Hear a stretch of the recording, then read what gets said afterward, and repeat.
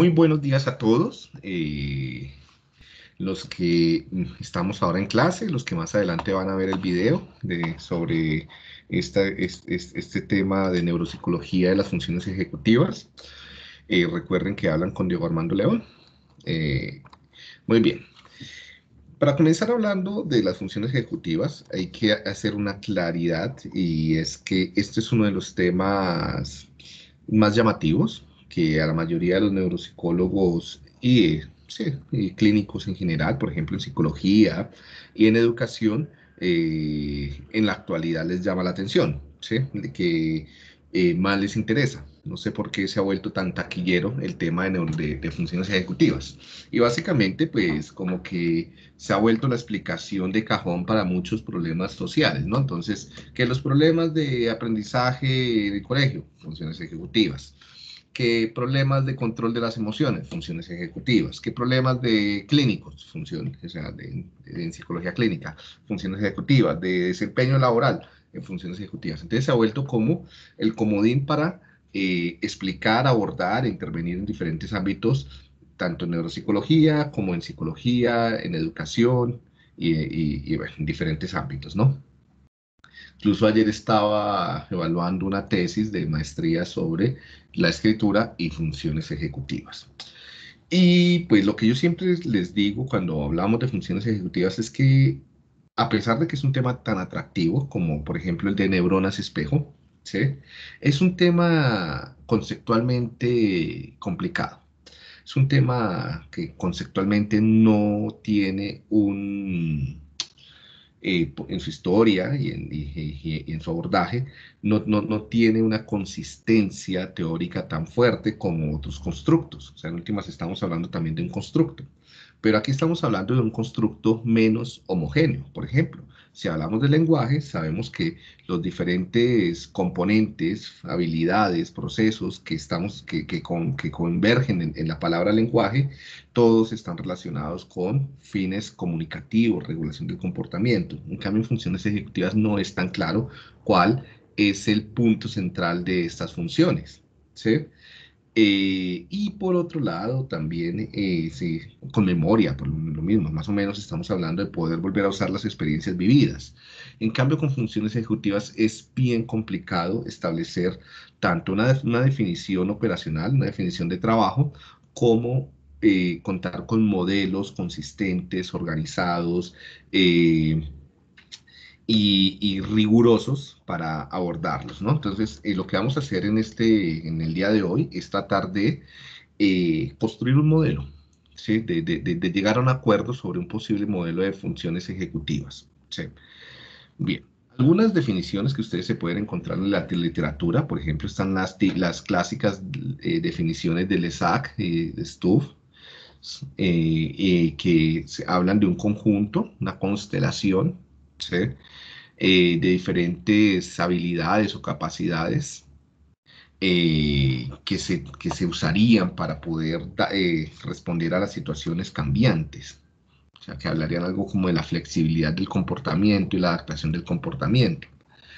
En otras definiciones, por ejemplo, el artículo que usted, el capítulo que ustedes leyeron, no es un artículo, la revisión que ustedes leyeron de Diamond, eh, él, lo toma desde una postura un poco más cognitivista como un conjunto de procesos de arriba abajo. ¿sí? Cuando hablamos de lo arriba abajo, estamos hablando de procesos eh, en, cierta medida de acceso y respuesta voluntaria, ¿sí? Eh, que permiten una cierta ganancia de control sobre el comportamiento. ¿sí?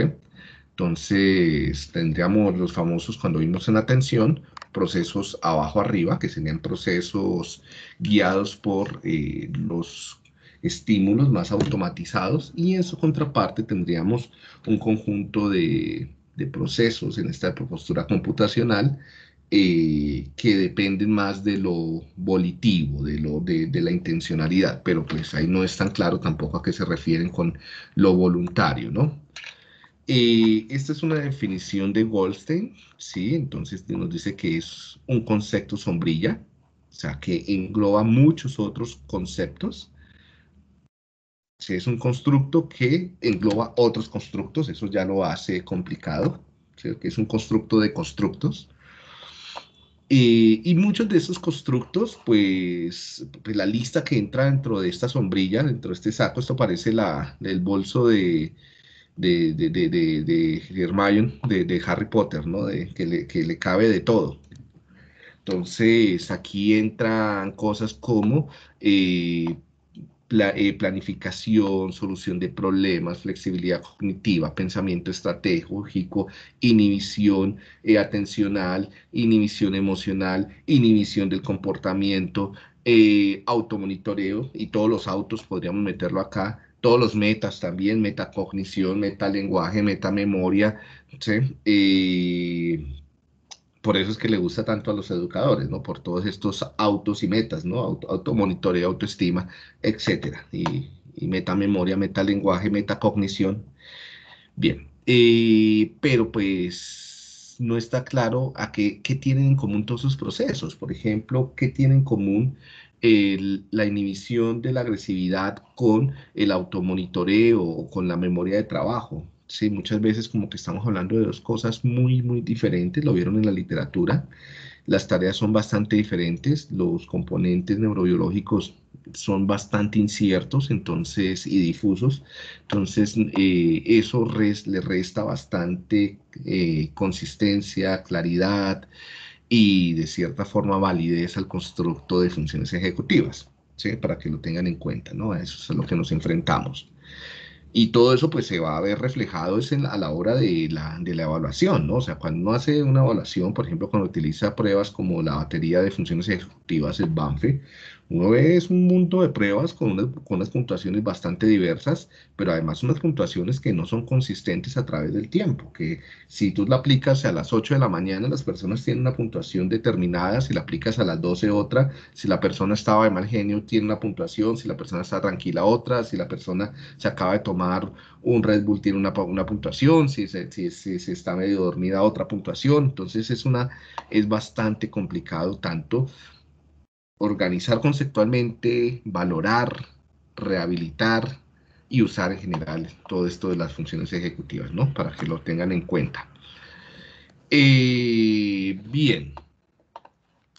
Entonces, aquí nos quedamos con que serían todas estas familias, eh, como eh, algo central en todas las funciones ejecutivas sería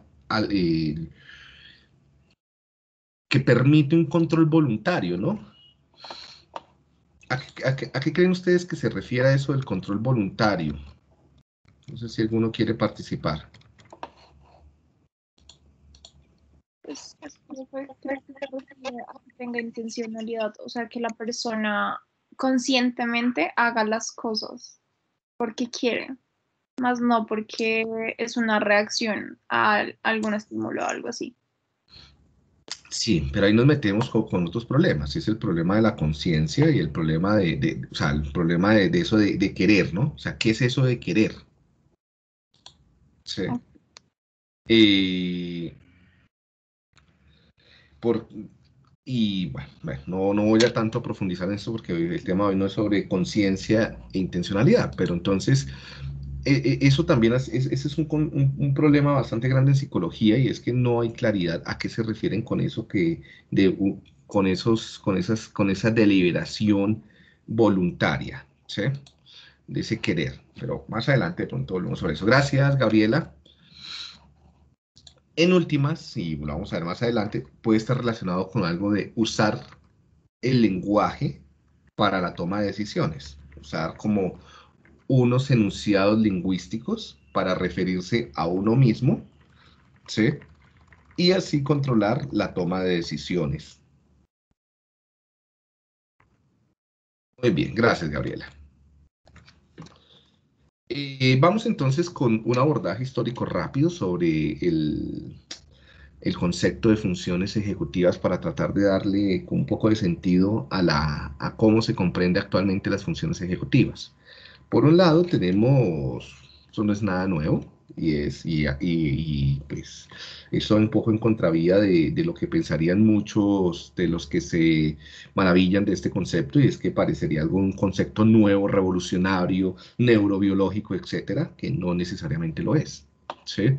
Ya desde filosóficamente, desde eh, los griegos incluso, ya, se, ya existía la, la la pregunta por cuál es la diferencia entre los actos volitivos y los actos automáticos, ¿no? Esto de lo volitivo eh, no es nada nuevo. Entonces, como que eh, incluso hay un abordaje aristotélico sobre esto, ¿no? Entonces, eh, sobre cómo la, la, voluntad podría ser una, una cualidad humana, ¿no? pero bueno. Entonces, hay un abordaje bastante clásico en, filosofía, por lo menos en ciencias sociales, sobre eh, la distinción entre las conductas voluntarias y las conductas involuntarias o las conductas automáticas. ¿sí? Y esto ya con el surgimiento de la psicología, de los mismos trabajos de Wundt y, otros trabajos más adelante, pues comienza a, hacerse mayor énfasis sobre eh, que hay un conjunto y pues en, medio de toda esta filosofía racionalista, el del después ilustración, donde se comenzó a destacar bastante que eh, lo propiamente humano, lo intelectual, y pues va a ser parte de las pruebas de inteligencia más adelante, va a ser eh, la capacidad de toma de decisiones voluntarias, ¿no? Entonces se comienza a hacer esa distinción donde lo humano sería lo voluntario, lo intencionalmente voluntario, el eh, la, eh, la resolución de problemas basado en argumentos o en planificación o en razón y la conducta o la controlada, ¿no? Entonces también con un fuerte sesgo religioso y bueno, todo lo que ustedes conocen un poco también de la postura cartesiana y demás. Eh, en contraposición de, eh, y de, lo animal y lo mecánico, que sería más automático, más eh, irracional, involuntario, etcétera, ¿no? Entonces esa, esa eh, justaposición de conceptos ya comienza a, a radicalizarse desde el siglo XVIII-XIX con el surgimiento de la psicología científica y ya comienza pues todo un intento por explicar y estudiar la conducta eh, automática versus la conducta controlada. Otra línea de investigación o de, o de abordaje, estas son líneas independientes que van a comenzar a converger. En el siglo XIX también pues tenemos eh, el surgimiento de, los grandes aportes de los anatomistas y de los grandes, de la neurología del comportamiento, ¿no? Es donde surgen esos casos que hemos hablado de, de, Paul, de Paul Broca, de, de Carl Wernick, y, eh, uno de los casos que no se abordan en ese tiempo, pero que sucedió en, este, en el siglo XIX, va a ser el caso del señor Phineas Gage, ¿sí? Y, ya comenzando a finales del siglo XIX, inicios del siglo XX, este caso comienza a socializarse, a publicarse y combinado un poco con la incertidumbre que había sobre la función de los lóbulos frontales, pues comienza a dar luces un poquito sobre las posibles funciones de los lóbulos frontales, creando toda una línea de eh, de argumentación acerca de eh, lo, que, eh, lo que hacen estos, esta corteza prefrontal basado en, estos, en este paciente, básicamente. Es casi que todo basado en el paciente de Phineas, ni siquiera fue un paciente, en este, en este caso, en esta historia de Phineas Gage. Y por último tendremos, tendremos la postura vigosquiana, entonces que también va a surgir sobre inicios del siglo XX, y pues, aunque él no está hablando ni de la, eh, bueno, él habló bastante, eso sí, él, va a retomar este, este, este punto de la conducta automática versus la controlada, pero él no lo va a hacer como desde una postura interna, representacional, no como una propiedad del individuo, sino él va a hablar que la conducta controlada haría parte o se podría explicar por el concepto de funciones psicológicas superiores, ¿sí? Y donde esta conducta controlada sería el resultado de los dispositivos socioculturales históricamente desarrollados que son transmitidos a través de las generaciones y en la socialización para facilitar eh, pues el, funcionamiento de los seres humanos. Entonces, que los seres humanos, ¿sí? Eh, como un legado cultural, tendrían unas herramientas que le facilitan el control de, del comportamiento, las emociones, la atención de los individuos y que y pues esto sería apropiado a partir de las interacciones sociales, ¿no? Entonces esta sería la postura de eh, sociocultural vigosquiana. Bien. Eh, esta, esta, esta, postura eh, racionalista, individualista, internalista, funcionalista, por llamarlo de alguna forma, de, para interpretar la conducta automática versus la razonada, va a decantarse o va a, retomarse por eh, cuando surgen los modelos de procesamiento de información en la, en la década de los 60 y pues propiamente eh, eh, se va a acuñar el concepto de función ejecutiva por Prebrand, y como un intento de proponer un modelo computacional informático para interpretar eh, el control comportamental. ¿Sí? Y de ahí ya vienen pues, los, los aportes de todos estos modelos eh, neuropsicológicos que ya hemos visto, ¿no? Vimos Broadbent en, cuando hablamos de atención selectiva, estos Benson, como otros modelos de control atencional, el modelo de Posner y Peterson, el modelo de Shalis de, del sistema atencional supervisor también en, eh, como modelo de atención, el modelo de ejecutivo central de Baddeley para hablar de la memoria de trabajo y la propuesta de Fuster del sistema 1 y el que sería automático versus sistema 2 controlado. ¿sí? Todos, todos estos trabajos son trabajos que van a desarrollarse desde la década de los 70 a través de todo el final del siglo XX, ¿sí? hasta más o menos, incluso todavía son muy fuertes, y tratando de explicar eh, desde un paradigma de, del, procesamiento de información, de la representación interna, abstracta, de, de la metáfora del, del, cerebro como un hardware y la función ejecutiva como un software o algo así, como un, como un tipo de, de, de algoritmo de representación que le facilita al, al, al, individuo acceder a, o representarse a sí mismo y bajo estas autorrepresentaciones acceder a procesos de autocontrol, control atencional, lo que sea, ¿vale? Y eh, entonces esto va, va, pues, va, va, a fortalecerse enormemente en la segunda mitad del siglo XX, ¿no? Y es más o menos como en gran medida la noción que se tiene actualmente. Por, la otra línea, entonces vemos como Luria, en la línea neurobiológica, eh, va a tener un aporte muy, muy importante. Ya Luria, Luria es un personaje bien interesante, eh, eh, ruso, entonces él va, él fue compañero del de, de, de Sevinovich Vygotsky y, y, él, él va a incorporar el concepto de funciones psicológicas superiores y lo va a llevar hacia el, la evaluación y la intervención de pacientes de la Segunda Guerra Mundial. ¿sí? Y con esto, pues él va a proponer las primeras baterías de evaluación de las funciones eh, de, la, de neuropsicológicas eh, y de intervención. Entonces él, a partir de sus trabajos, entonces va a proponer eh, su modelo de los tres grandes componentes encefálicos, los anteriores, los posteriores los, y los mediales, y donde los componentes anteriores estarían bastante implicados en la adquisición, el desarrollo y el mantenimiento de estas funciones psicológicas superiores. ¿sí? Y de alguna forma, estos componentes anteriores eh, o estas funciones psicológicas superiores, así como lo había propuesto Vygotsky, están mediadas por el habla, ¿sí? por los actos de habla. Y cuando se ven alteradas, se ve disminuida la capacidad de autorregulación de los individuos.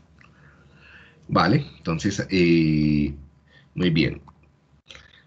La, postura computacional, racionalista, internalista, representacional, funcionalista, sí, que está en amarillo, va a retomarse durante la década de los noventas y principalmente durante este siglo en la postura de las neurociencias cognitivas, a través de las tareas que ustedes leyeron en el artículo de Diamond, pero ya con el uso de neuroimágenes funcionales, de electroencefalografía y otras técnicas de neurociencia cognitiva para tratar de establecer cuáles serían los correlatos o los, eh, los componentes eh, neurales asociados a este, internos individuales que poseen los, supuestamente los individuos para poder establecer, eh, realizar este, las tareas que desarrollaron estos señores, ¿sí? de acá.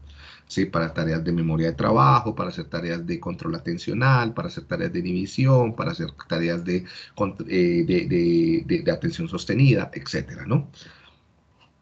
Se retoma tiene un auge durante el final del siglo XX y el inicio del siglo XXI enorme. El caso de Phineas Gage, esto se va a popularizar en casi todos los libros de texto en psicología, neuropsicología, neurociencias y demás. Es uno de los casos más famosos. Yo creo que todos ustedes conocen ya o han escuchado hablar del señor Phineas Gage. ¿sí? y se retoma de alguna manera los postulados, pero ustedes si el grosor de la línea dice la importancia del aporte. Entonces, de alguna forma se, retoma pues, la postura de la neuropsicología clínica de, la evaluación y la rehabilitación propuesta por Luria, pero se desecha la propuesta eh, culturalista, eh, materialista dialéctica de las funciones psicológicas superiores, eh, tanto de Luria como de Vygotsky, ¿no? Y pues se desecha también esto de la importancia de los actos de habla eh, sobre eh, la explicación de las funciones ejecutivas. ¿sí? La gran, eh, entonces, lo, que va, lo que se va a fortalecer la postura o la, o la, o la, la concepción de, de, de, funciones ejecutivas del siglo XXI va a ser la postura computacional, representacionalista, funcionalista, racionalista, internalista, y, la, y eh, la atribución a los lóbulos frontales, o principalmente a la corteza prefrontal, eh, de estas funciones. Entonces, la corteza prefrontal se va a volver casi que el asiento, ¿sí? el módulo, por, por ponerlo en esos términos computacionales, eh, encargado de las funciones ejecutivas. ¿sí? ¿Y qué tenemos más o menos en la actualidad? Cuál es la concepción actual de funciones ejecutivas. Dentro de la mayoría de los, de los científicos cognitivos o de los cognitivistas, de los neurocientíficos y de los neuropsicólogos, la concepción de función ejecutiva es como un proceso cognitivo. ¿sí? Y pues con, y yo creo que si hablamos con todos ustedes que entienden por proceso cognitivo, va muy en esta medida, ¿no? Como algo como, lo, como el procesamiento de información que ocurre dentro de una persona o dentro del cerebro de una persona o en la mente de una persona o algo así por el estilo, ¿no? Muy como en el sentido de la Matrix, de esta metáfora del ordenador. Y de, alguna forma, estos procesos, mecanismos cognitivos, que son también bastante hipotéticos, ¿no? Eh, están involucrados en las conductas dirigidas a metas, la facilitación del, ajuste de la conducta a, las variaciones ambientales y el asiento de esto sería la corteza prefrontal, donde su alteración conllevaría necesariamente a una disfunción comportamental y de la personalidad.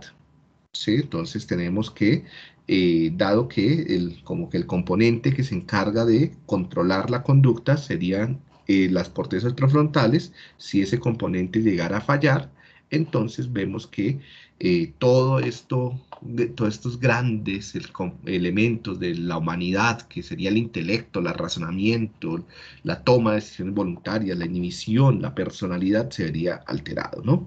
Pero cuando uno va en, la, la, vida real a ver un poco esto, esto es problemático.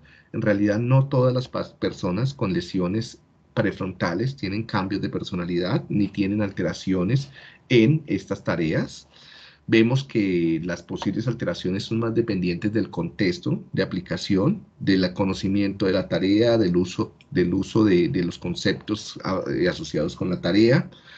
Vemos que eh, los cambios, tanto en, en, el control del comportamiento, en la solución de problemas y en la personalidad, son bastante diversos entre personas y en el curso de la enfermedad, donde por lo general eh, dependiendo la lesión, si no es algo de, de, neurodegenerativo, suele haber recuperaciones bastante buenas. Eh, y pues que eh, esta postura en últimas es muy problemática por varias razones. La primera razón es porque eh, en realidad eh, el modelo computacional pues es, eh, es, es, un regreso al dualismo, ¿no? Es proponer de nuevo otra vez que hay como algo mental en alguna parte de la cabeza de las personas, ahora lo ponemos en el cerebro, ¿no?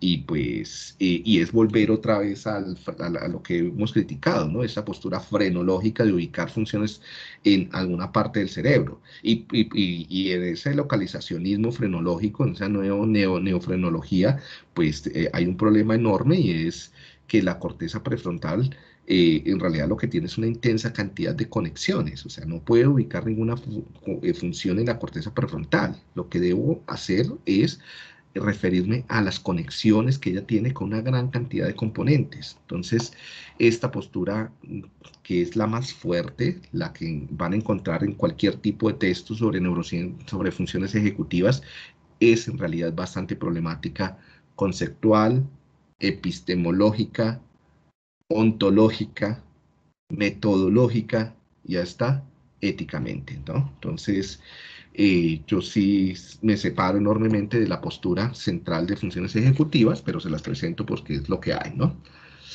Bueno, y la gran pregunta es, ¿qué pasó con la postura vigosquiana? ¿Qué pasó con el aporte sociocultural? ¿Qué pasó con esto que se nos había propuesto desde eh, eh, inicios del siglo XX sobre que las funciones de control, las funciones de la conciencia, lo que hace un momento nos decía como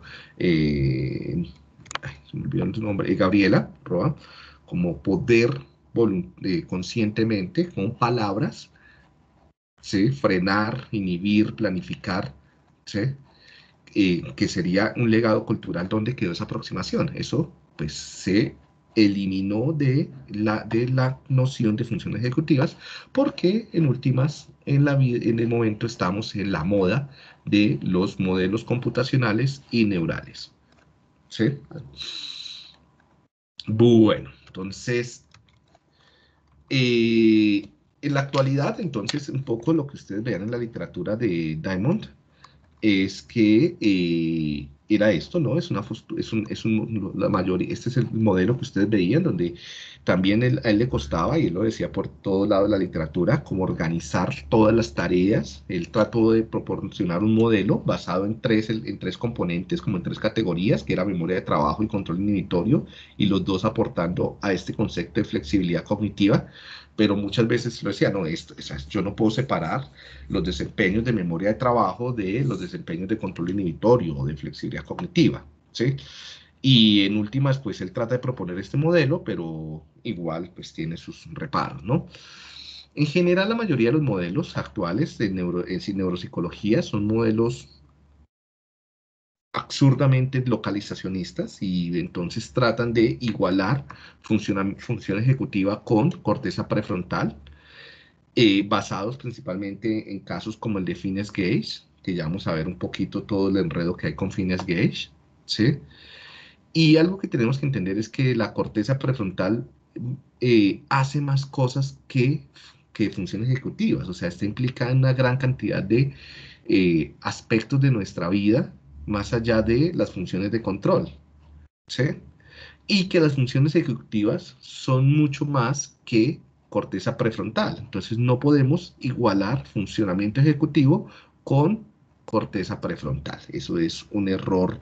Esto es conceptual, ¿no? Ya que además es una explicación, es circular, ¿sí? Entonces, uno lo que la mayoría de los textos lo que encuentra es ¿qué son las funciones ejecutivas? Son las funciones de la corteza prefrontal. Y ya uno queda como así que, ¿y, entonces qué hace la corteza prefrontal?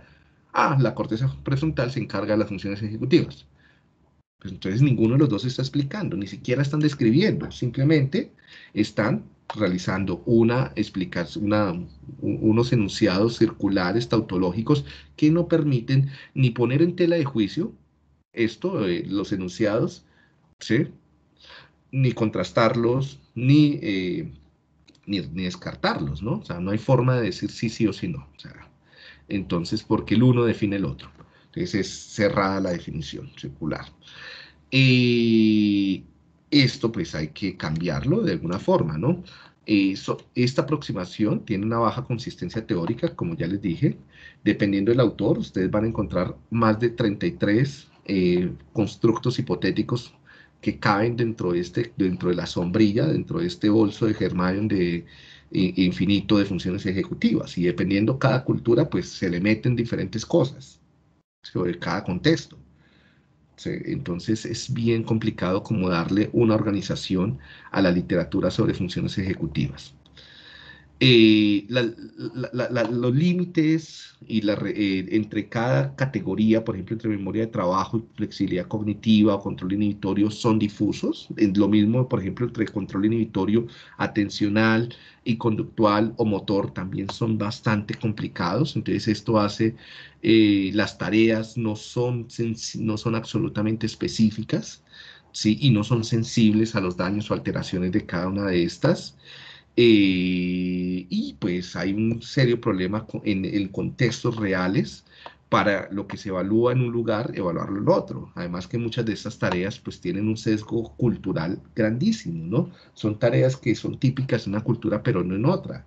Por ejemplo, muchas de las tareas de memoria de trabajo, contar dígitos en orden inverso, sea, repetir dígitos sin orden inverso. Hay culturas donde no se usan este tipo de, de, actividades en la vida diaria, entonces las personas van a tener puntajes muy bajitos, porque en últimas esto depende del uso, o sea, esto no es algo que se tenga en la cabeza ni que esté dentro del cerebro y que uno pueda con una tarea sacarlo. Es algo que es una habilidad, como toda habilidad se adquiere, se desarrolla y se, y se perfecciona o se mejora o se, eh, su desempeño con el uso. Entonces parece que está montada más sobre unas expectativas y unos usos eh, anglosajones del norte, occidentales, que castigan muy duro a otras culturas. hay también una dependencia contextual enorme, hay olvido la variable cultural, y pues todo lo que hemos ya hablado, las limitaciones que tiene en neuropsicología el modelo computacional. Bueno, y todo esto, ¿a dónde nos lleva? La, la definición que yo les doy sea, lo pueden colocar como, eh, no necesito referenciarlo, ¿sí? como eh, una, una, definición proporcionada en esta clase. ¿sí? León 2021, comunicación personal, es que es un concepto sombrilla, es un constructo sombrilla, si lo quieren poner de alguna forma. Es decir, que es un constructo que engloba una gran cantidad de otros constructos. ¿sí? Y en general todos esos constructos, ¿a qué se refieren? Todos, los treinta y pico, los cincuenta eh, palabrejas que, están, que pueden denominarse como funciones ejecutivas. Todas ellas, ¿a qué se están refiriendo? Se están refiriendo a las habilidades que pueden ser adquiridas, ¿sí? desarrolladas dentro de una cultura para facilitar el control voluntario durante tareas o actividades cognitivas, afectivas, motoras y sociales en un contexto específico. ¿Sí? Entonces, eh, y ya les voy a, y ya vamos a abordar a qué nos podríamos referir con eso de, del control voluntario, ¿no? Entonces sería como un constructo, sombrilla que, que recoge o engloba las habilidades.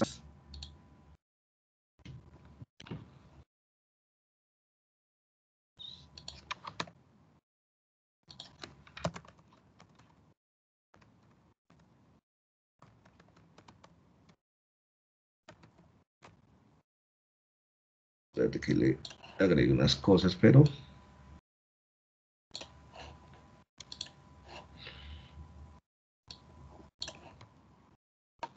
bien, entonces sería esto.